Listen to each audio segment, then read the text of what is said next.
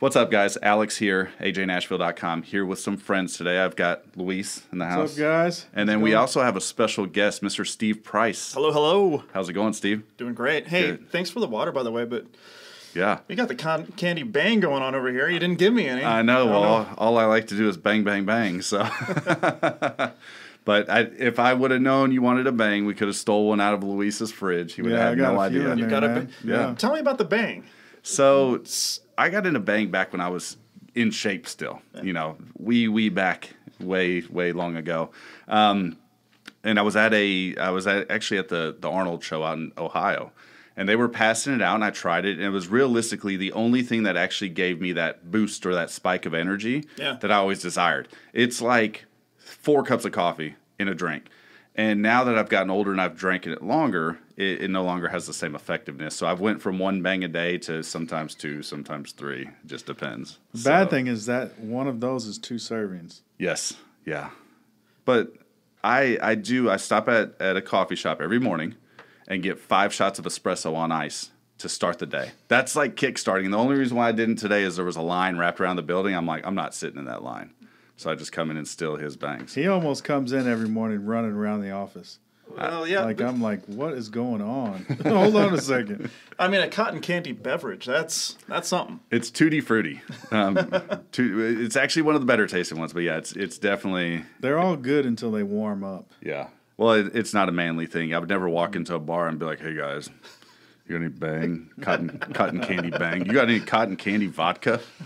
Here's the door, sir. Thank right, you. I got something that tastes like cotton candy. I bet you do. So, so we got Steve here today. Steve is uh, he's got a new podcast going. Steve, what's the name of your podcast? It's called Prices Highway. Prices Highway. So, those of you that may not know Steve, Steve is actually a local guy. He's in a lot of the Facebook groups. He he just likes to have fun. You know, he goes out there, he makes fun of himself. He's you you called it earlier the the human pinata, so to speak. Oh, yeah. I'll be your right. pinata. Right, exactly. So, um, but he started this new podcast. I've got a chance to listen to some of it this morning.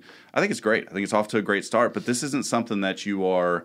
Uh, that you've done regularly, but you are a producer by trade, correct? I am. Yeah, I started in a, actually in Houston as a, uh sports photographer. Nice. Um, so, uh, worked at a station home to the Astros. Yeah. So that was a lot of fun. So I got my uh, got my start doing uh, sports photography and worked my way. Now I really wanted to go to um, to news while I was in I was in Houston, but Mm-hmm. I was twenty. yeah. They're not going to let some twenty year old.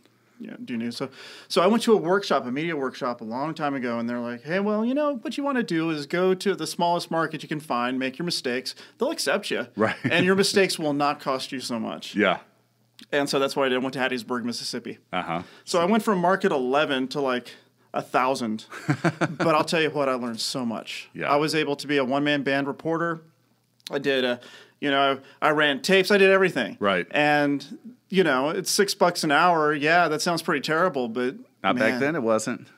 Well, no, but man, what I learned. Yes. I mean, I'm 42 now, and, you know, it, it was it's just invaluable. Yeah, well, you can't put a dollar amount behind the knowledge that you picked up and picking those up in smaller markets, like you said, and, and like I'm sure the, the producers in Houston said, it's going to cost you less because you haven't done it on such a large scale that hundreds of thousands of people have seen it and they're now critiquing you. Yeah, yeah. So from Hattiesburg, where off, how did you get to Nashville? Okay, well then I, the station I worked for in Hattiesburg folded.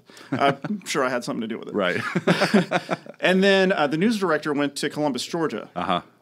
And I was looking for you know a gig because that place folded. So he's like, hey, you know, I know uh, the whole reporting thing. You weren't really into that, but we do have a photographer position open if you're Right. interested in coming out and interviewing or whatever. I had to look up where Columbus, Georgia was on the map. I had no idea where it was. Uh, a- and, so I'm like, yeah, well, you know, why not? So I went out, interviewed, got the gig, um, stayed there for, you know, kind of went up the chain a little bit, became chief photographer there. Mm-hmm. And then I really wanted to get into promotion side of it. Right. You know, and a position came open and they were willing to just run with it. No, yeah, this guy, th- this goofy guy over here can probably promote. Why not? and so I was able to do that. Did some, uh, you know, station IDs and you know campaigns and all that. And man, I loved it. Yeah. I met my wife there, Carrie Price. Uh, she was working at the radio station, and she was also a lead singer of a, of the big band there. That's you know, so they they were. I knew what my Friday nights were. You know, Yeah. just, you know, um, being a roadie for her, Right. and. Uh, but you know she's a singer songwriter and of course nashville you know that's the place to be Yep. and uh, we were up here we just visited for the first time and i think it was when uh, bredesen was being inaugurated mm-hmm. we were at the sheraton and i was looking down and i was really into news back then and she's like hey, you know i'm not feeling very well but if you want to go down and you know just go see what's going on talk to some people and i, I see your eyes looking at the uh, satellite trucks and everything like, Yeah. Oh, okay, well, and so I did, and I bumped into uh, a Channel Four crew, and uh, the photographer. The, I didn't know at the time he was the chief photographer. He was taking a picture of the uh, the hosts, and I'm like, "Hey, you want a picture of all three of you?" And that's that was kind of my end. Right. And and so I just started talking to him about the market, and Uh-huh. you know, he's like, "Well, yeah, I'd like to you know see some of your work," and um, you know, about I think it was about three months later, we were up here. Nice. Yeah, Yeah, you're like, see some of my work. I'll take a bunch of pictures with this camera. You can take it. that's right. you can even take credit for it. yeah, yeah, yeah. So yeah, we, we've been here for uh, 15 years. We uh, we first moved. We were in an apartment in Franklin, but we we quickly moved to Spring Hill. Yeah. Bought a house there in what, 2000 January 2005. nice. Hmm. So Now, did you use your wife to buy that house? I want to Well, make he note. was her No. roadie. Right. well, she wasn't a realtor back then. Okay. I just wanted to make note that the fact that your wife is a realtor, because we do have so many loan officers and realtors that do listen to this show, that I want to at least give your wife that credit for being a, a successful realtor in Spring Hill, Tennessee. Well, thank you very much. Can, Yes, can sir. I take it one step further? Absolutely. Uh, don't think twice. Call Carrie Price There 615-497-3317. Can you tell he's done promotion before? I like it. I like it. So But now she didn't go on and sell all of our other houses, and Yeah. so we're uh, we're in Thompson Station now. might as well keep the money in the house. Yeah, Thompson Station's a good little city. So now you find yourself, you're here, you're doing some production stuff. Um, you actually you spearhead a, a show, and Yes. it's funny the story behind it. You were at Snappy Tomato. Oh man, why don't we have Snappy Tomato in here? Where did it go? I, I have no idea. It wasn't here when I got here. Oh, it's so good. Oh. But yeah, uh, anyway, my father-in-law, he is a uh, world-renowned uh, furniture maker, chair maker, and we were doing DVDs together. Yeah. Uh, you know how to build this, how to build that, and they were doing very well. And um, he came up here. Ava, my daughter, was born. Uh, it was recently after she was born, and we went to Snappy Tomato to pick up pizza for the family. Right. And um, I just asked him, "Hey, so we got this going on. So what's next? What's Mm-hmm. missing?" And I thought, well, hey, you know, when people put out their own magazine, that makes them look more professional. Right. But I had actually, uh, you know, I can do magazine shows. That's Yeah. what I did for Channel Four. I did uh, Nashville Music and More, Better Nashville, and More Midday. Wow. So I had that kind of you know background. And he's like, yeah, but what would that look like? Right. And so I grabbed a napkin and I pretty much did the entire rundown of the show. So it's pretty much, uh, I don't know if you watch CBS uh, morning show, uh, Sunday morning show. It's uh, it's kind of just a magazine style, you know, biographies and everything. Right. But we focus it on woodworkers right. and we go all over the country and we um, it's at www.thehighlandwoodworker.com and uh, yeah we talk to the masters of wood and they uh, they invite us in We we we see their shop we uh, get some inspiration from them and they teach us some techniques Nice. speaking of cool furniture Yeah. by the way this podcast this podcast room Yeah. pretty envious Thank you. quite Thank you. frankly but this table is really cool So the question is, would your father-in-law be impressed by this table? i think so Uh, that's good. So this table was actually built by local company, built by design, guys. If you want a, an incredible looking table, you have to check it out. I'm, I'm sure you've seen the pictures online, but it's made by Built by Design. Local guy Jason Froman and his wife Lauren Froman actually own the company. And if you see their trailer, their trailer got stolen not too long ago. So if you see it driving around, give us a call. no no. Yeah. So I know it's not a laughing matter, but if you know if you see it out there, let us know about it. But yeah. So now we we've we've started this show. We've got it on a, a napkin. All great things start by napkins, by the way. Yes. Every every great story, you know, you watch a movie, they're like, "How did it start?" Well, I wrote it down on a napkin. You're like, "All right, snappy tomato napkin Right. i wish i still had it that'd be awesome." Frame it, put it up. Yeah, Yeah. yeah, We just got greenlit for our uh, 2020 season. We've been. It'll be our eighth season. That's awesome. Yeah. That's awesome. So, and that's a, a trade that, you know, you don't see it as much as you used to. You know, when I was young, you had woodshop class, and everybody wanted to go to it. You know, it was a, a great thing to do, and I think that's kind of fizzled out in school. So the fact that that's still out there and available for people to watch, I think, is huge. So now you've stepped up and you've you you've started your own podcast. Tell me about some of the growing pains. I mean, just getting started or thinking of doing one's a growing pain in itself. Yeah, I have no idea what I'm doing. Yeah. Quite frankly, it's just a space that I've always been interested in. Yeah. Uh, you know, podcasts are huge now. Uh, Right. It's a it's a trendy thing to have a podcast, and I'm usually not one to go with trends. Mm-hmm. Right. But this is one I listen to podcasts all the time. Uh, Yeah. How you know stuff you should know and um, uh, 99% invisible. But my favorite one is uh, 20,000 hertz. Have you heard that? Uh-uh. They deep dive into sounds. Uh-huh. Oh yeah. I'll, I'll have to check. up. Yeah, I'll have to Yeah. check that out. And if you're listening, check it out as well. So now, and that comes probably from your production background and your interest in in the different things when it when it has. Because I asked you this, I said, do you do a lot of of production to your podcast? And you're like, oh my god, I do a lot of it. That's all I do. Where where we just rip it and roll. Yeah. you know, it's we're kind of those those wild wild westers. We're like, he said it. Let's just put it out there. So, starting a podcast, obviously, you have to do a couple different things. One, you got to be encouraged to start it. So, is there somebody out there that provided you with some inspiration to say, hey, you know what? Put your voice over the radio waves? Uh, No, not really. Uh, mostly discouraged from people. you know? I mean, who wants to hear this voice? Really? Come on. Discouraged from people that are actually in it and do it, or someone that doesn't have. No Usually, idea the about it? discouraging people are the people that have never done it. Right. So, that's, I'm assuming that's. Well, I- I'm being a little facetious. Actually, I put it out on one of the forums. I'm like, hey, if I did a podcast, would you listen? yeah. Yeah. They're like, well, we don't like you, but yeah, I remember, probably. I remember that post. and then I'm like, well, okay, well, why not? Yeah. So, in my first, I sent you the pilot. Mm-hmm. Uh, it's I don't have it up yet, um, so I'm gonna I'm making a little tweaks to it. But I had Jim McCarthy. He Yeah. uh, he has the JMVO Weekly Primer, Yep. and he's a big podcaster here in Spring Hill. Mm-hmm. And uh, you know, he kind of showed me the ropes a little bit. Um, Right. Told me what kind of equipment to get, and uh, he was on the show and taught me how to make my podcast a little better. Yeah. Yeah, and you got some pretty high end equipment too. So, you went with the Rodecaster Pro. Yeah, it's awesome. Yeah, they they make some incredible pro- uh, products. I'm actually waiting on their podcaster mic to. I think it's called the pod. No, it's not the podcaster. It's a pod mic.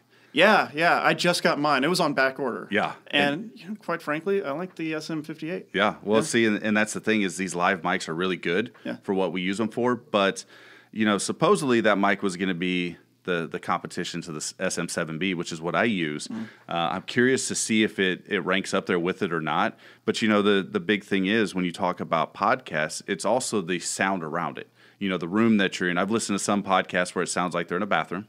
I've listened to some where they are in a bathroom. Um, but the environment around it, you know, they say a lot of that takes place within the six six inches away from the microphone. But Luis will tell you, echo in this room drives me up a wall like bad. That's why I sit as still as possible. Yeah, don't move, don't touch anything. You know, we got these chairs that I got on uh, Facebook Marketplace, and they squeak and they make noise. We got a guy that broke that chair. Yeah, they're noisy chairs. so, so what about a hosting site? What site are you going to host your your podcast from, and what made you choose that site? I've, you know, I haven't chosen that yet. Okay. Um, I probably Podbean. I heard a lot of good things about that. It's Yeah. not pricey, but it gets you on the main the main guys. Right. Uh, again, I'm just really in the uh, the early process of this. Mm-hmm. Um, wanted to get a pilot out and send it to you and several other people just to get some feedback, and I have Right. got feedback. Yeah. Uh, the feedback is, hey, where'd you go? Yeah, they want they want uh, some w- observations and I guess me being funny or something. you being Steve Price. That's what. That's why everybody on that page said they would listen, because that's what they listen to. You know, that's why I tune into that that page is to find people like yourself and see what they have to say. You know, so I think that's a big thing when it comes into doing your podcast. You can't lose sight of you know people are tuning in to listen to me or listen to what I have to Right, say yeah. or my my thought process. Uh, and I think that's going to be valuable for yours. I think people want to hear, well, what's Steve think about this? So maybe you need just uh, we talked about it before, a little Jerry Springer at the end. the final thoughts. Yeah, the final thoughts here with Jerry and the final thoughts. Maybe you can even do the video version of that. That'd be pretty cool. Yeah, I can bring a Craig Midget in. There you go. And, now we've got a midget. Right, exactly. That's awesome. So the future of it, because you talked about this with the woodworking show, and I know you're in the infant steps of it. So Mm-hmm. Yeah. the future of it is not something that you necessarily have nailed down. But is this going to be a weekly show? Is it going to come out every Friday, every Tuesday? What's what's a plan? My goal is for it to be every week. Okay. Uh, the day I don't know. Right. Um, it might be on a third. I don't. I don't. I don't know if I'm going to do like a certain day. Mm-hmm. Uh, now I have teamed up with the Advertiser News of Spring Hill and Thompson Station. Oh, Chris Yao. And Chris Yao. Yeah. Yeah, he's doing the uh, news updates. Yeah, that's awesome. And so I want to correlate that with him, so he has time to do his thing, send it to me, and uh, you know get something out there. But uh, most of the stuff I do is really going to be evergreen. Right. Uh, the whole idea of the show is hyper local. Right. And uh, the people, places, and things of Spring Hill. What's Mm-hmm. going on? And let's meet the people who are doing them. Right, right. The snappy tomatoes. Yes. Which Come back. right, come back. I know you have a fan here, so no, but I think that's a great, uh, great idea to partner up with those, especially with Chris. Chris is very knowledgeable. Obviously, he has to be based on what he does, but uh, you Yeah, know, he's a one man band. he is, and and I didn't realize that. So I we got in conversation at one point, and he's like, "This is what I do," and I'm the only one that does. it. I'm like, "Really?" The only person that runs that whole thing, that's a lot to do. So Yeah. that's a full time job in itself. And obviously introducing him into the podcast as well is going to add to the workload. So you want to make sure that it's it's kind of consistent. So um, you haven't decided where you're going to put it. So I do mine on Libsyn. Now I started with several different platforms initially. I started with Blog Talk Radio, then I went to Buzzsprout, then I went with Libsyn, YouTube. You know, I've, I've put it everywhere. This thing's like a pig with lipstick. But uh, I have found for myself that Libsyn's very, um, it allows me to port everything to where it has to go when I'm only putting it into one platform. I just canceled Blog Talk Radio simply because it wasn't as user friendly. Uh, Buzzsprout, I keep around because moving my podcast from Buzzsprout to Libsyn, utilizing iTunes is to me like a technical nightmare. And so I'm just going to pay for both in the meantime. Sure. Um, you know, and, and I use editing software. So I use uh, GarageBand. Is there a software that you use that you find helpful? yeah, I'm actually using Premiere. Okay. And is Uh, that, it's my video background. I Gotcha. can do everything I need to do in the audio field as well. A lot of people want to use Audition when Mm-hmm. they're using Adobe, and that's cool. Do it uh, if you figure it out. I yeah. can't. Yeah. that's not my audio is not my thing. Again, this is a new space for me, and um, yeah. So uh, Premiere Pro is what I use. okay. Yeah. And, and that's um, uh, not Mac, that's PC based, right? It's PC and Mac. Is it? Yeah, Okay. yeah. So it's a, a, subscription you can get from Adobe, Uh-huh. and I think I pay something like fifty-five bucks a month, and you'll have bad. access to every single Adobe uh, software out there, and they constantly update it. Yeah. So you have the newest, the latest and greatest Right. at your fingertips at all times. Right. And and see when I when I started my podcast, see I made a lot of mistakes. You'll see there's equipment laying around. I don't I don't know if that's still over there or not, but there's equipment laying around. There's some sitting in my office of different things. Not that equipment. That's workout equipment. That doesn't get used. You That's gonna a- row something? yeah. I, I always row before I podcast. I do too. Uh, That's something we both have in common. Right. We both row before podcasts. it, it gets you hyped up, and then you jump on, and you're like, Ugh. but but I have a lot of equipment laying around. I have old arms, I have old uh, processing equipment, stuff that when I jumped into podcasting, I didn't have a direction. And so, if I could make a recommendation to anybody that's going to do a podcast, and you're fortunate because you had a really good mentor when you were starting out, as far as being able to direct you in the right equipment to use, but figure out what it is you want to do and what your end game is. That doesn't mean that you go out and buy the biggest, baddest piece of equipment, but I bought several small pieces of equipment that didn't suffice for. I mean, I used them for like two, three weeks, and then they were they were obsolete. I couldn't use them anymore simply because my podcast started to grow. So one of them I used the Focusrite, uh, and I was able to use the microphone input, but then I bought it because I wanted to make calls and I could plug in the phone into the backside of it and make calls. But that's the only thing I could do with it. And so then I had to buy something that took two mics. Now you see, I have this that takes six mics plus I, I don't even know how many inputs I can put into this thing. Probably a lot. Um, so if I can give anybody advice, it would be to map out the equipment that you want to use. Research the hosting platforms that you're going to want to use when it comes down to where you're going to put it. What's the reach? I listen to a lot of different podcasts that are extremely successful and kind of in the sphere that I want to be in, and I listen to what they used. And because Jocko Willink and Joe Rogan and those guys use Libsyn, I'm like, if they use it, why can't Yeah, I? works for them. Yeah, and and my first thought was this is going to be outrageously priced, but I think I pay twenty bucks a month for hosting. It's not bad. It allows me five hours or something of upload time and Oh, unlimited space. Yeah, it's it's pretty cheap. So uh, that would be my recommendation on that. On equipment, you know these these live mics. I mean, these are so these are the AKGs, which are basically the SM55s. I think they are. They're they're the same Yeah, style of microphone. Yeah, um, but they work really well. You know, they're they they're cheap. You can buy two of them for like fifty bucks or something like that off eBay. If you buy it on Amazon, it's one for fifty bucks, but they work. You know, they sound. I think with with a little bit of tweaking on the digital program, they sound just as good as the SM7B. Yeah, Maybe- in fact, uh, yesterday when I was doing some voicing for Mm-hmm. my podcast, uh, you didn't hear the big fans going on in my house because we we had a water leak, right. and we have fans all over the place, Yeah. and uh, just closed the door. Everything was going on downstairs, but it was loud as all get out. Right. Closed the door, use the SM58, and did you hear anything in the background? I didn't. No, it, I was actually pretty envious of how great the quality sounded, and I didn't know if that was directly related to the Rodecaster Pro that you use. I've been interested in that piece of equipment. It's so awesome. And if I could get money from Rodecaster Pro right now, Yeah. if they can send me like some A money check. for talking nice about them, Right. I would get this piece Or- of equipment. Yeah. You know, if you're starting out because I can't remember how much it's like 500 600 dollars Mm-hmm. and it that you know, that's a lot of money. It is But if you're going to be serious about doing a weekly or monthly or whatever podcast, right. I always say get the best tool. Yes.